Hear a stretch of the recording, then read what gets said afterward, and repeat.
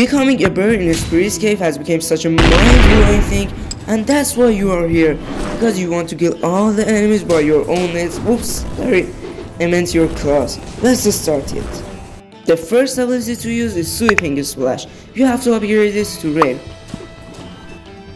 Okay, the next and the most important ability to use is Wolfgang Leader, which you have to upgrade it to rare as well.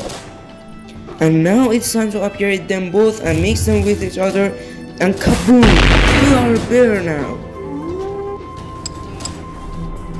The other abilities to be used with the bear sets are the lightning and the dynamite thrower man.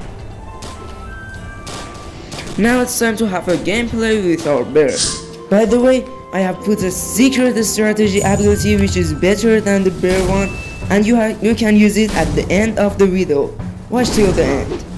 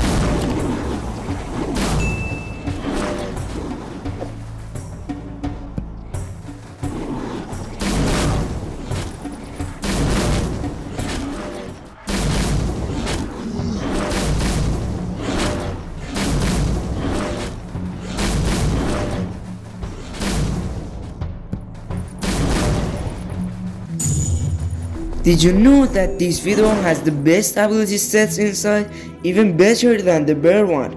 Make sure to watch it, see you in it.